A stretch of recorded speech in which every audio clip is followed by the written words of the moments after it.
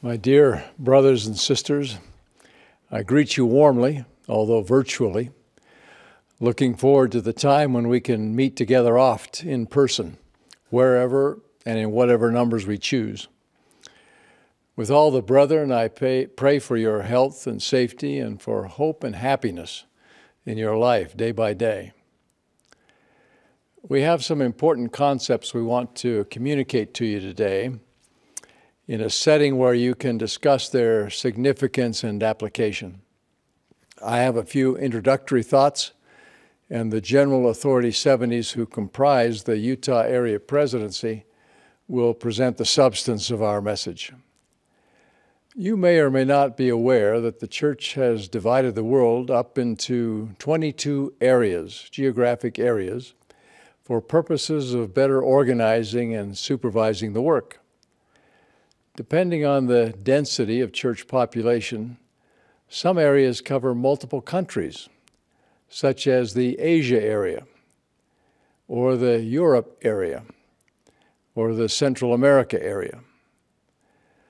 Some cover a single country, such as Brazil or Mexico, where church population is well over a million in each country. The United States and Canada together are divided up into six areas. And with the concentrated number of members, stakes, and missions here, Utah is an area in itself. Each of the 22 areas is presided over by an area presidency consisting of three 70s, occasionally joined by a fourth 70, as is the case with the Utah area at present. Each area presidency is assisted by any number of Area 70s as they interact with stake, mission, and temple presidents and other leaders. In Utah, 31 Area 70s have been called and are serving at present.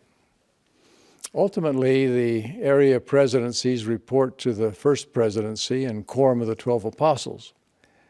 But for day to day supervision, one member of the Twelve and one or two members of the presidency of the 70 are assigned to each area.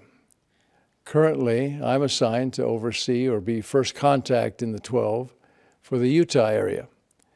And Elders Patrick Kearon and Carlos Godoy of the presidency of the 70 assist me.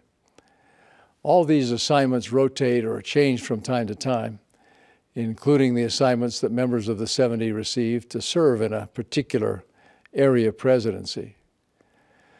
because I've been an especially good boy, it's now my turn to serve with the Utah area.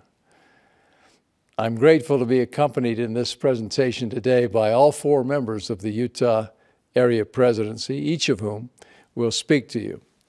They are Elder Kevin W. Pearson, Area President, and his counselors, Elder Evan A. Schmutz, Walter F. Gonzalez, and Vaina Sikahema. Vaiangina Sikahema. As Elder Pearson has mentioned, they will be discussing the vision and priorities we have for the Utah area. Having reviewed their presentations, I want you to know that I endorse what they will be saying and teaching. The organization of the church into areas, as I've been describing, is key to aligning our efforts everywhere in the world with the prophetic counsel of the First Presidency and Quorum of the Twelve.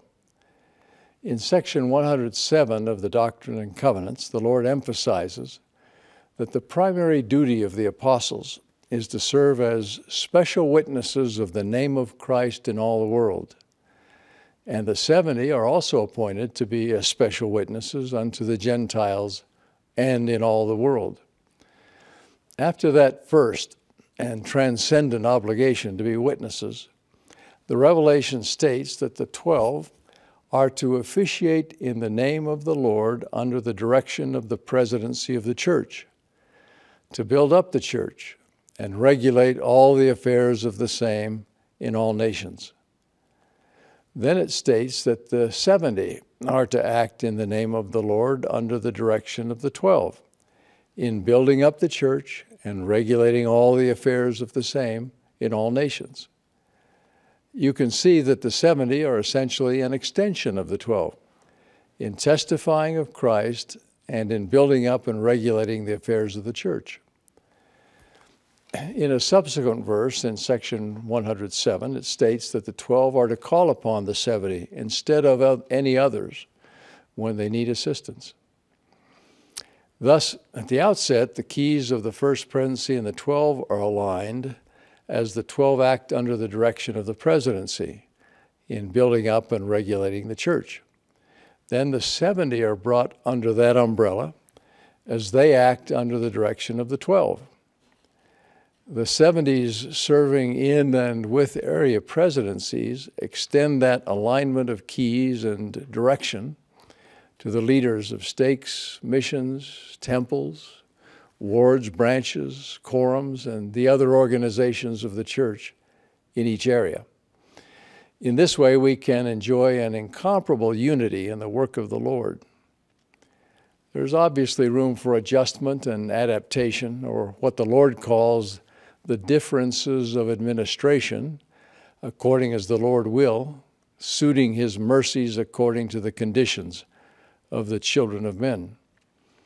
But overall, we have a uniform vision and approach in gathering the Lord's covenant people on both sides of the veil and in ministering to one another as we pursue the covenant path toward eternal life.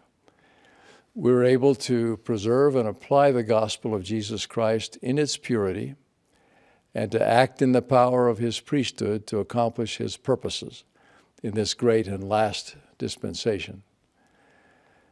Anciently, the Church of Jesus Christ was able to maintain this unity of belief and effort for some period of time, but it could not be sustained without the keys of the priesthood. With the restoration of the priesthood and its keys, and the gospel and church of Jesus Christ, God's work of salvation and exaltation is renewed, this time with the promise of ultimate success for our own efforts in the Lord's cause to succeed in our stakes and wards and homes, it will be important to keep things as simple as possible. Complex approaches that require excessive time and means are not sustainable. We can't confuse busyness and tasks with spiritual growth and conversion. That is why, as you'll see, the Utah Area Presidency is focused on a few priorities that are simple, easily understood, and realistic. I'm grateful to be joined with you in what President Russell M. Nelson has called the greatest cause and work on the earth.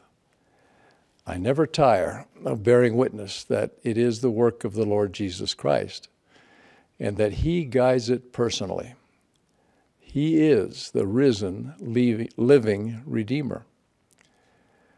The Church of Jesus Christ of Latter day Saints is his kingdom on earth, preparing for his kingdom in heaven to come. May the love of God, our Heavenly Father, and the grace of Jesus Christ, and the influence of the Holy Spirit be with each of you every day, I pray. In the name of Jesus Christ, amen.